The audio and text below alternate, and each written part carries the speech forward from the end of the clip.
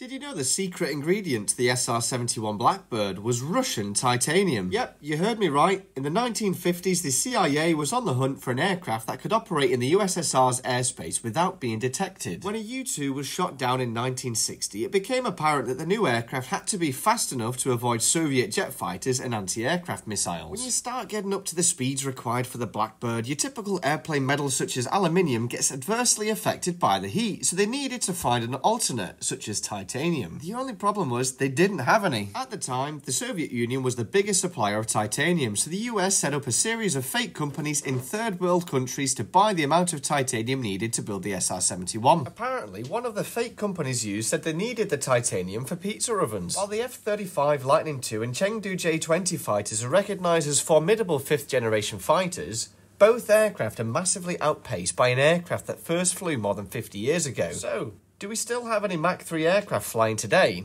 Let us know in the comments.